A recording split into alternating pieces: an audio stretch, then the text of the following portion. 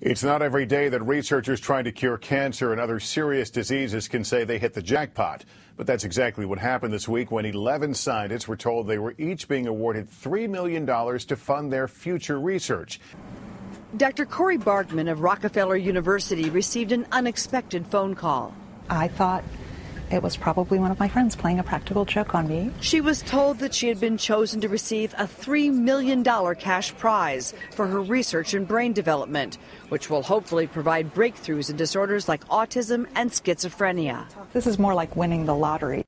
Ten other scientists worldwide joined Bargmann in receiving the award, the first of its kind, including Dr. Lewis Cantley of Weill Cornell Medical College. Cantley is being recognized for his innovative cancer and diabetes research. But it's not just the money that surprised these scientists, the people behind it did too.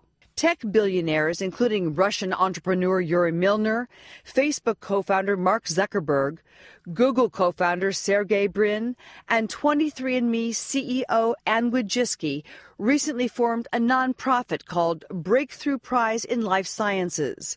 Instead of recognizing scientists who are already known for their accomplishments, these 11 recipients are young and studying novel breakthroughs in cancer, gene therapy, and stem cell research.